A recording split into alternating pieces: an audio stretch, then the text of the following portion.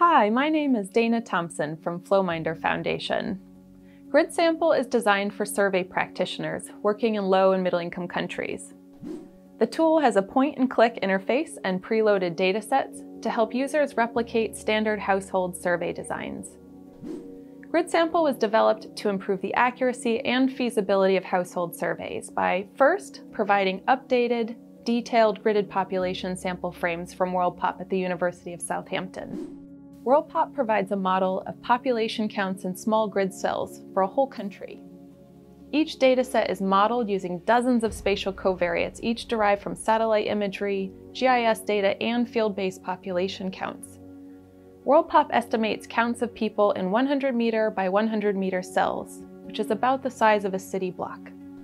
Second, in complex urban settings, the use of 100 meter population sample frames can improve the measurement of vulnerable and mobile populations by enabling one-stage sample designs.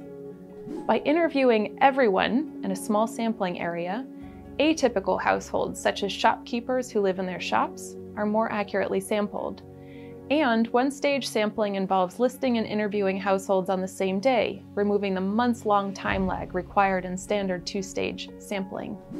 One-stage sampling also has the advantage of being faster and cheaper than two-stage sampling because fieldwork is targeted in small areas.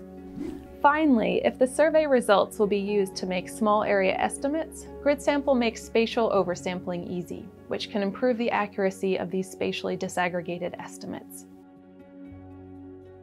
My first gridded population survey was on the remote island of Idjwi in the eastern DR Congo in 2010. I chose gridded population sampling out of desperation, really.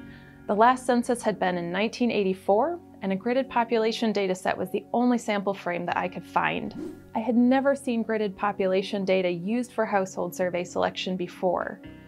Given that the cells have no relationship to features in the real world, I expected the fieldwork to be a bit of a nightmare, However, to my surprise, survey implementation went remarkably smoothly. And around the same time, other household survey teams started to develop approaches to gridded population sampling as well. On Idjwi Island, our field maps were simply printed Google Earth imagery, and field team members, many of whom had never used a computer before, easily learned to navigate these photos from the sky. Over the course of two months, the field team successfully navigated to 50 sampling areas and interviewed 2,100 households. The gridded dataset performed extremely well as a sample frame. We found greater population density exactly where we expected it. After the Idjwi survey, I was confident that other survey practitioners, particularly in low and middle income countries where outdated or inaccurate census data is common, would find gridded population sampling useful. Between 2012 and 2016, I developed the open source GridSample R package with colleagues from the WorldPop team.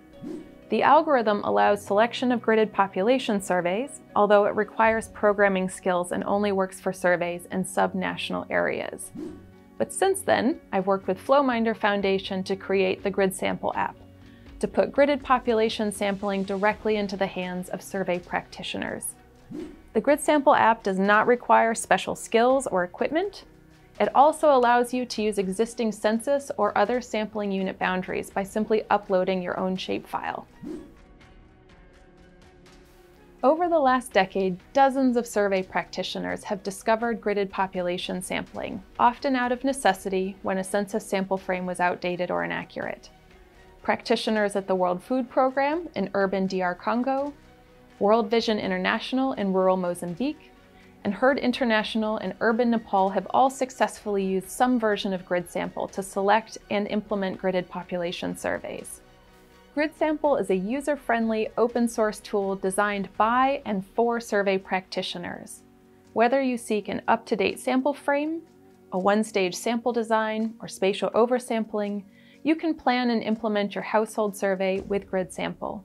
I hope you find the Grid Sample app as helpful and easy to use in the field as we have. Let us know how you get on.